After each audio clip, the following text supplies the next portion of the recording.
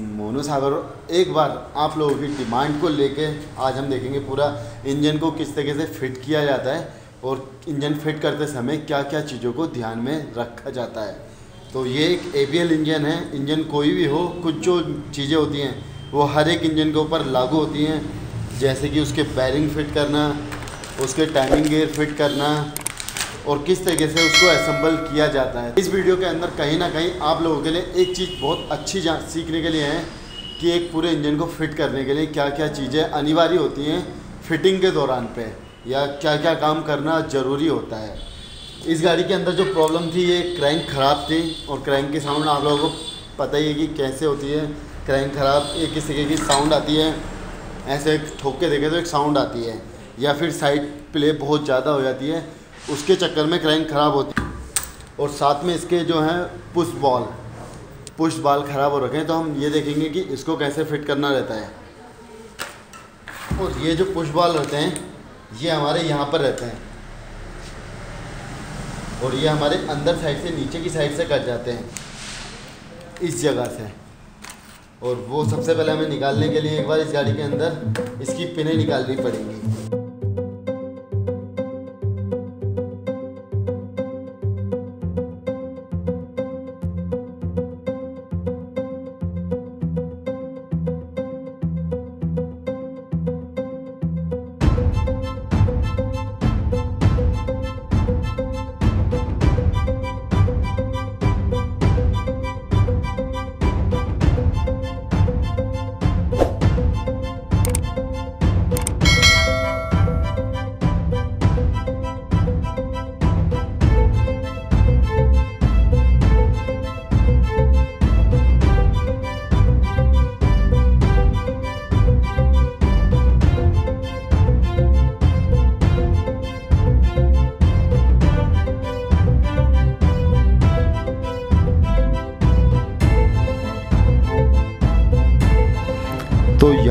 देख सकते हैं, यह है पुराना वाला वॉल्व और इसकी कंडीशन देखिए, यह है नया वॉल्व हमेशा वॉल्व इस जगह से कट जाता है। वो कटता है टाइमिंग गियर की वजह से। तो कभी भी आपको चेक करना है तो यहाँ पर आप उंगली लगा के देख लीजिए, आपको गड्ढा टाइप का महसूस होएगा। बस, बाकी इसके बाद फिट कर देना है इसको।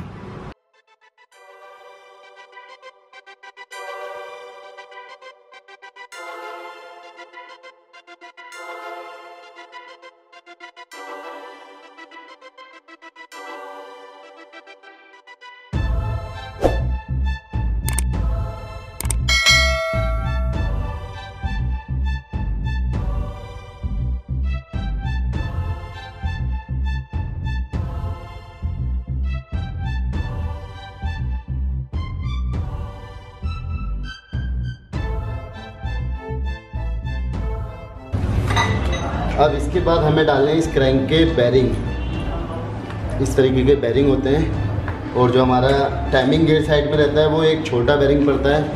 और जो हमारा कलर साइड में होता है, उस टाइप में बड़े बैरिंग पड़ते हैं। और बैरिंग को फिट करने के लिए कुछ नहीं, बस साफ़ सफ़ाई रखनी है अच्छे से। और इसको फिट कर हैं।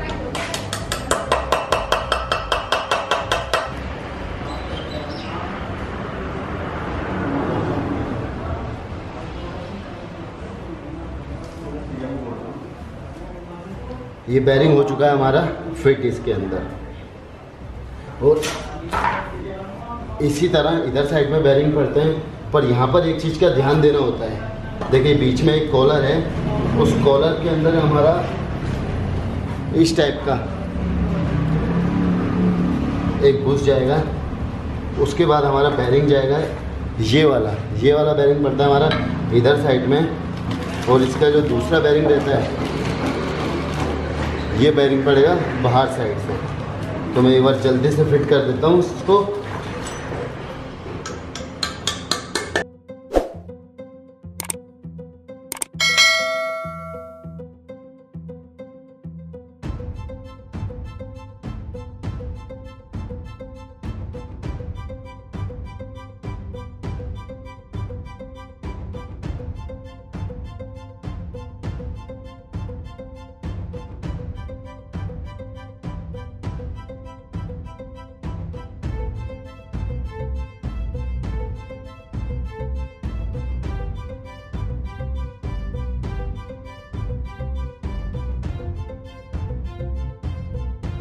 जब आप इतना फिट कर देंगे, बाद टाइम आता है क्रैंक को फिट करने का तो आपको एक चीज़ का ध्यान रखना है कि ये तो हुई हमारी बैरिंग की कौन।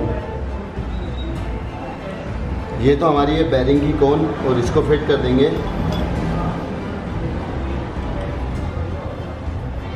इधर। ये बिल्कुल प्यार से फिट हो गई। इसके बाद लगती है एक छोटी कोन। और यह है बड़ी कोन इस चीज़ का बहुत प्यार से ध्यान रखिए, बिल्कुल अपने दिमाग के अंदर बिठा लीजिए। जो ये बड़ी कोन होती है, ये कलर साइड से लगती है, बाहर से, और ये इंजन के अंदर से लगती है, यहाँ पर।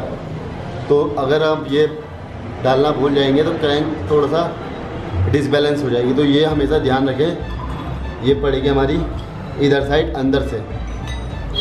और इसके बाद थोड़ा सा तेल लगा के आप आराम से इसको फिट कर दें इसके अंदर। आप क्रैंक फिट कर देंगे, इसके बाद टाइम आता है कि दूसरी साइड का बैरिंग को। ये बैरिंग हमने इसके अंदर ठोक रखा है और जो इसकी कॉलर होती है कॉलर को हमने इसके अंदर बिठा रखा है। आप चाहो तो इसके अंदर बिठा सकते हैं या फिर इसके अंदर रहने दें। और पैकिंग इसका हमारे केस में ठीक है। अगर आपके केस में पैकिंग ख़राब है तो पैकिंग नया डालें और इसके ऊपर सिलेंट ज़रूर लगाएँ। क्योंकि अगर फिर लीकेज होता है तो इंजन दोबारा खोलने की नौबत आ सकती है। इसलिए पहले आप सिलेंडर लगा लें इसके ऊपर। और इसके बाद इंजन के अंदर और कुछ नहीं होता है।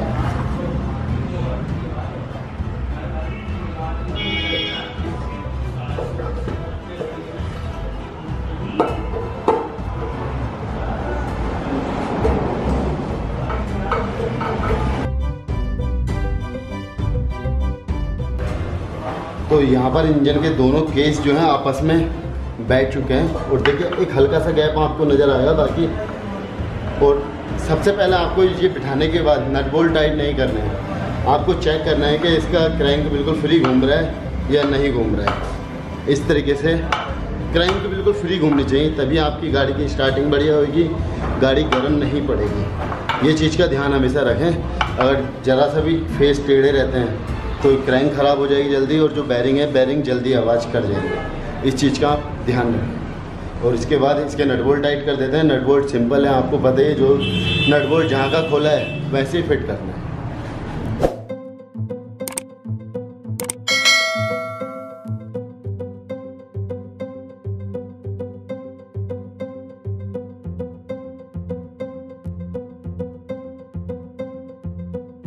इसके सारे नटबोल्ट टाइट कर देंगे। उसके बाद आपको मैंने एक कॉलर के बारे में बताया था ना, ये कॉलर लगती है हमारी इस साइड में।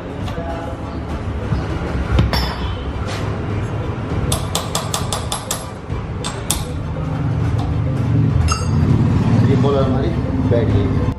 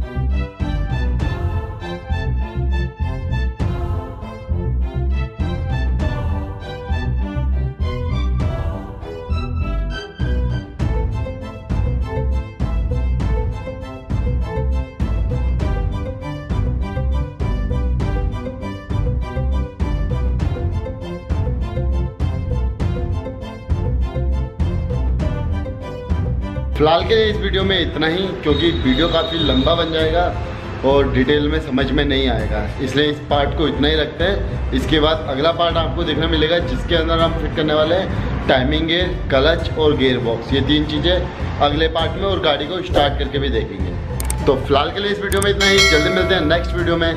जय हिंद, वंदे मातरम।